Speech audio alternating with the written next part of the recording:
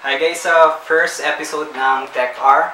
Um, in this episode, papakita ko sa inyo paano mag-install ng tatlong monitor setup using one dedicated GPU.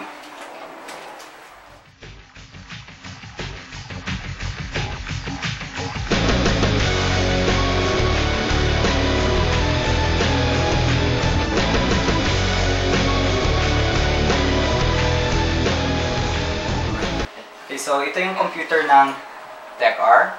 So, naka Radeon 6670 to. So, we have three external connectors, DVI, VGA, at saka yung HDMI. So, right now, nakakonect siya sa tatlong monitors. Ang gumagana lang is dalawa, ang dalawang to. Okay?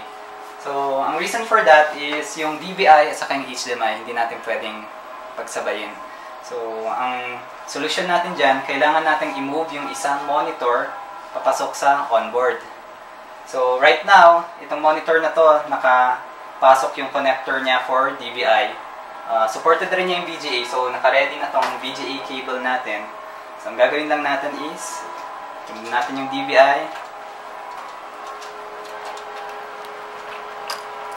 And, pasok natin yung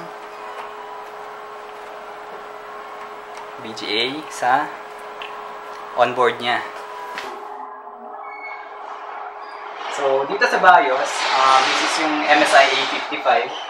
Uh, pasok lang tayo sa mainboard, sa advanced.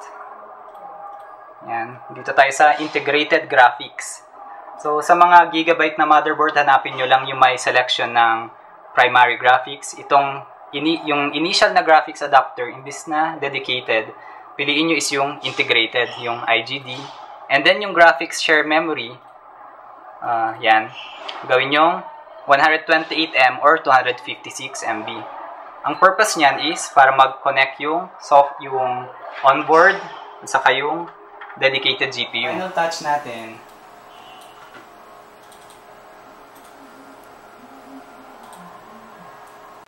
So this is a triple monitor setup brought to you by TechR. I hope na nag-enjoy kayo kapag uh, meron kayong gustong um, tanungin, just post it in our page and um, sasagutin namin sa mga videos namin.